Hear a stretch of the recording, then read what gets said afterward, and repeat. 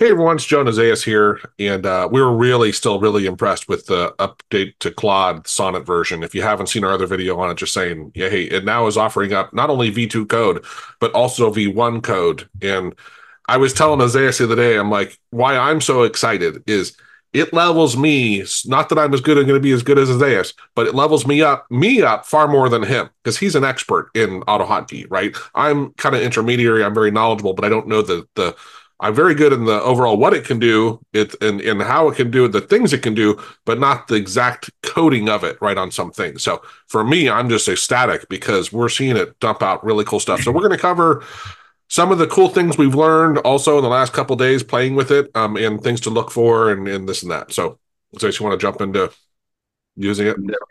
Yeah, and it is funny to me that we we are more excited about oh it offering V2 code, and then we realize does it do V1? And we didn't know. we didn't even test it until right now. Like okay, let me see. And then, which we'll we'll jump to in a bit later too, we, we had it convert V1 to V2. V1 to V2, yes. Did a really good job. We, we had to tweak it a little, right? But yeah. yeah. Yeah. So uh, this is the uh, homepage. It has some news and stuff in there, but I just dismissed that. That's what it would look like if you had been using it for a few, you know, a few times. And you would see here kind of like a history from the previous chats you had. I, at, the, at, the, beginning, I was like kind of lost because on ChatGPT, um, you get the history always on the left side in here, but in um, in Claude, the history is not always on a sidebar. You have to go to the main page. I will show you. You just go to the, the main website, Claude AI, if you're logged in, and it will greet you with your history right here. So it would tell you how many times you've used it and so on. Now, this is the one that we were playing with today, right? And uh, there's a few things that we noticed that are very cool about it. Now, I don't know if you've seen, uh, if you can see here on the right, I have this what is called a chat controls and so on. This would not show up like that if you don't have a very specific um, option turned on. Um, if you go to your login image in here and you go to the feature preview, you will have to turn on what is called artifacts. That name actually Usually, because when we think about artifacts, we think about something that is not supposed to be there. This is something else. For um, Claude, if you turn this on, whenever it generates code, it shows it on a different sort of window, which is great. I actually like this more than ChatGPT because in ChatGPT, if it provides certain um, code, you would have to scroll up and down to find it right? So I, I told it, hey, do this one thing, um, uh, and then go ahead and show me the code. And then if you need a previous version or something, you have to scroll up and down to copy or paste, right? In Claude, it is not like that. When you have artifacts, then there's a dedicated window that you can actually look at the code. Um, and let me show you what that looks like. So I gave it a, a small prompt to create a GUI in V1 and uh, to do something specific about it. And when it finishes, it shows up with this box right here. This is, again, great because even if I scroll the chat and I'm reading the chat, the code doesn't move and I can keep that on my view. Not only that, I told it to make some changes to it. I told it, hey, change the location of the controls to make, make them relative with relative positioning and it created a second version of the same script. And then I realized, oh, look, down here you can keep track, you, can see the different versions of the same script, which is extremely awesome. Because if I want to compare one or the other, or just look at it, or just copy one or decide from one another, I have a very quick way of jumping through one another. And you made the question like, hey, what if I ask it to make a totally different script? Like I said, okay, create a totally different script that does this and that. And it actually created a different file with a different title and it doesn't have the versions because this is a different thing. This is the first version of it. Then I realized that we have this little arrow in here. And when you click on that, you can see all the scripts that it had created and the individual ones that, that are different. And for each of them, it keeps track of the versions. For two versions for this one, one version for that one, one version for that one. Extremely cool. I actually like this. I definitely think that this, at least for coding, is a great interface because I can speak to it and don't don't have I don't have to scroll up to find the one that I cared about, right? It just gives me the code. I, I gave it some code, and this is the example in which I told it, hey, convert this V1 script to V2. I went ahead and um, told it that, and it created this new version of it. I'm going to tell you, this is 99% done. Like I had to, for example, remove the, the, the icon file because I didn't have it, and those quotation marks, remove that from there. Then it started working right away. Like very cool. The, the, the, work that I had to do was minimal compared to when I try it with ChatGPT because ChatGPT gives me code that looks correct, but it isn't. Like I, I, I wasn't able to make it work. Um, so for me, it it went down to just the, commenting these two lines, removing this quotation mark, and I think the other one was this W right here. Just put two commas in there. After I did that, the code worked. And and actually I still have it open in here.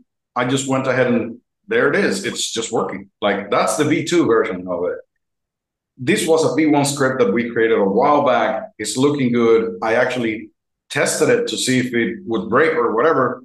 It didn't break. Like it added the new one. I select the one. It's very interesting that everything works as intended. And it was just like five to 10 minutes for me to create the prompt, copy the code, paste it, and delete three things. That's it. That's what I had to do. This is going to so, save our clients a lot of money when they when they ask us to do stuff for them because sometimes they want us to convert a V1 to a V2, and I would bet you it'll take us less than a quarter of the time than what it would have before, right? Like it's going to be really really good at that. Mainly because converting has a lot of repetitive things. Like for example, if you have message box comma that in V2 is not valid because of the comma. I will have to go through the whole code and modify that. And of course, I have find and replace, but then I don't have the minutia of, oh, this one I don't have to do that, and this one I do. But if I give that to AI, it will just go ahead and do it automatically for me. And it's just the repetitiveness of it that I don't want to do. Everything else, like I will look at the code.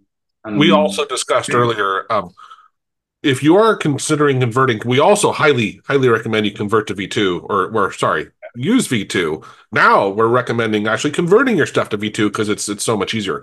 But if you're considering also refactoring and optimizing your code, first convert it from V1 to V2, get it running, and then ask it to optimize it and refactor it because um, there's so many things that are much easier to do in V2. And if you did that in V1, it might create some crazy stuff that you'd really, you know, it, it wouldn't work around. Right. And then also, I know you played with a little bit now. I'm still, and and and now I'll probably be switching. Now this is the first time where I'll admit I'm like, you know, um, I, I love Studio. We created a V2 version of AHK Studio for working with AutoHotkey, but because no one's going to be creating a uh, Claude or ChatGPT AutoHotkey Studio extension anytime soon, right? Like using VS Code, you have you know so many it's it's by far the world's most popular tool. And um, those people are creating extensions all the time. We tested one. It wasn't as good as the copilot that Isaias uses in in visual studio but it's still i guarantee you and i also guarantee that at some point chatgpt is going to be um, doing v2 code reliably as well. And using those extensions inside your editor your ide it's phenomenal right? It's just really really cool. Yeah, definitely. And um, what you have to realize is the good thing about popular editors is that there's so many people working on it that you always get the latest stuff really quickly, right? It's not that other editors might not get it, but it's more probable that if something is missing, when I when when I tested the extension, I was like, oh, it's missing this and that, and you right away said the truth, like we don't have to wait long. Somebody's going to do it. Like right. that's because that is a popular editor. A lot of people are using it, and I'm not the only one who is going to try to use that uh, extension. And as soon as somebody realizes, oh, it doesn't do this one thing, very likely somebody is going to go ahead and do it. And more likely than not, they're just going to use ChatGPT or Claude to do it as well. So if something is missing, oh, this is not happening. How do I do it? Give it to Claude and say, hey, let's add this, and it would just add it, right? So, and what's cool is, like I said, it's it's VS Code is by far the world's most popular editor, right? It's crazy popular, and adapting a different model, uh, like let's say Claude or ChatGPT or whatever, and even well, that's a whole AI tool, and then within it, the Sonnet versus GPT 4.0. That is, is you know, it's independent of the whole doesn't know AutoHotkey, right? Like yeah. that's why it doesn't matter. That's why these things are going to solve when you're using an editor or an IDE that is used in other languages that are really popular, right? That's why we're saying it's so much more likely that it's going to get um, updated because you have tens of thousands of people working using that tool and it's going to be fixed but it'll still use our stuff right it's just a different as we were saying earlier is um AutoHotkey you know that's just a different like dialect um compared to yeah, it. exactly it's yes. not the the what are they called the AutoHotkey extensions you know that that have to know the nuances of your language and highlighting right. and controls but yeah it's um really, really, really impressive. If you haven't jumped on the bandwagon for AI, we were really excited about it before, but now that it knows AutoHotkey V2, I'm crazy that like people aren't even more excited because it's it's yeah. so far beyond game changing. It's it's crazy, right? So get on it. Um, definitely consider. Well, I'll put up a link to our intro to VS Code course. I'm, I'm actually going to extend the sale we had. I'll try to remember. So if you go, um, hopefully you get an email from me with the discount because um, it's like 50% off. So we're extending that next week just to kind of celebrate all this stuff. And yeah, um, it's, it's, I'm telling you, don't let the world pass you by. Don't put your head in as an ostrich and put it in the sand. If this stuff freaks you out, I understand that. At the same time, you're we're gonna you know people who don't start using AI and being the forefront of it, you're gonna be man, passed really quickly by the rest of the world. Yeah, that's right. Like the video if you learned something new, um, and, and, also tell us your experiences. Tell us also if you found other um, AI tools that are you know better than Claude is right now. I, would be surprised, but I do think they're all going to slowly be bypassing each other here, and we finally right. reached this threshold um, where it knows V2 apparently pretty well enough. Let's put it that way um, to be to be recommending it and using it a lot. But um, again, in in another six months, it's going to just be really crazy. So yeah, oh. that's right. All right, well, thanks for watching. Cheers.